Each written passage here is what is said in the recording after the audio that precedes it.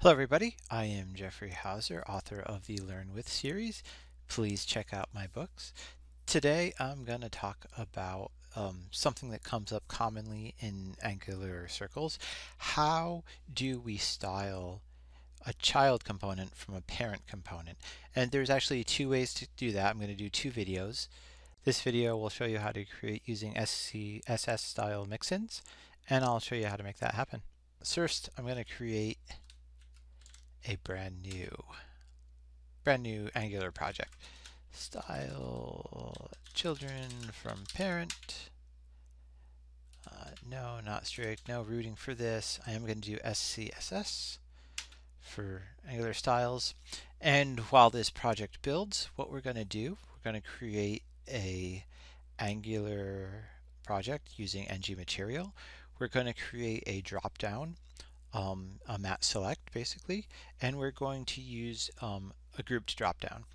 Uh, inside that grouped dropdown, what we're going to want to do is we're going to want to bold the groups. If you've never used a group dropdown in Angular or um, or just even in the web, I'll show you how and show you what that means when we get there. For now, let's watch this package install. Okay, now we are going to style children from parent and we're going to add angular material. I'm going to use deep purple amber for no particular reason. Um, no, I'm not going to set up type typography styles for the purposes of this sample, and I'm not going to use browser animations. Okay. Okay, what I did off screen is I went ahead, created the Angular, new Angular project as a project in my IntelliJ workspace. Uh, I'm going to do an import. Um, I've opened up the styles and oops,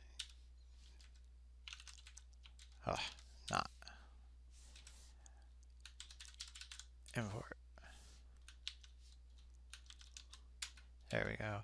Um, I'm importing the pre-built Angular material styles uh, and the deep purple amber I said I was going to use.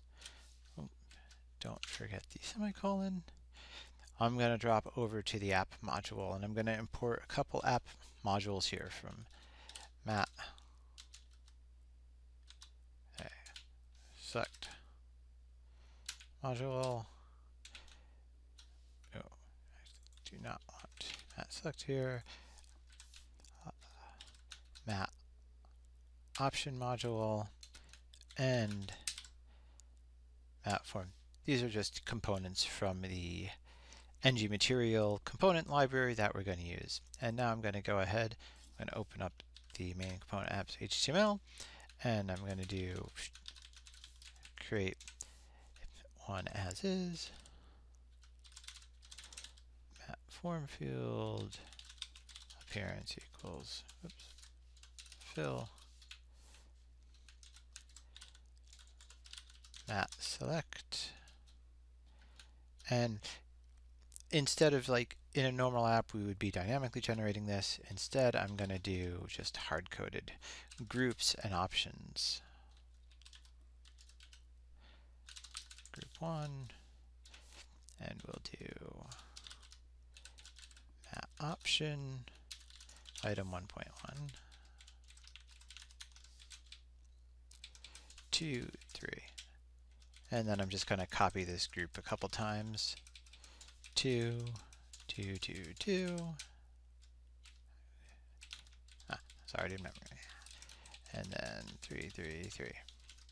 So this creates um, a mat select wrapped in a form field and there's option groups. So let's go ahead and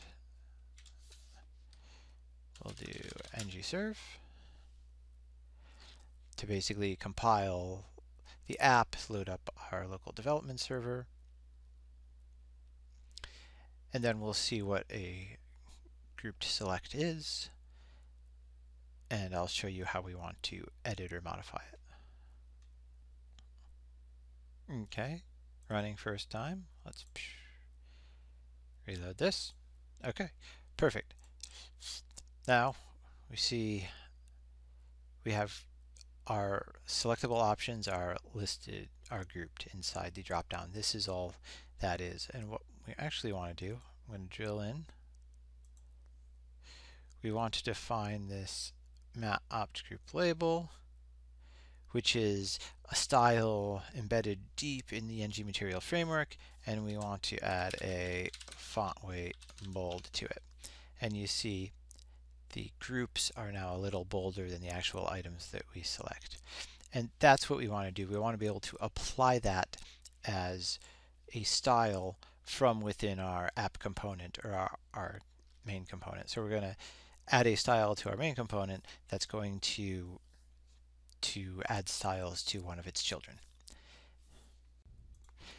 The approach I'm going to look at in this video is using CSS style mixins or rather SCSS style mixins.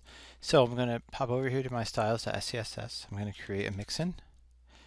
Now in a real app I would actually probably put these in a different file, but for the sake of simplicity for this example, I'm going to put them in here. So I'm creating a new mixin, mat opt group label bold, and mat opt group, and then bolded label mixin mat opt group label.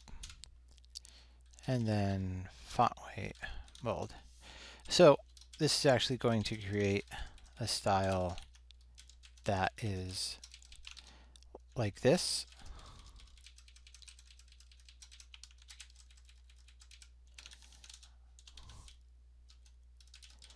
and we can look at that I'll um, sort of in the HTML.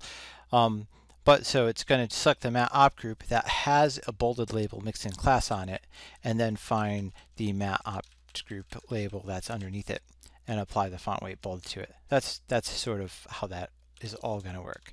But um, we want to include include that mixin here. So that's going to do that. I'm going to switch over to our app component HTML. I'm going to make a copy of our dropdown and uh, mixin styled. That way we can review them.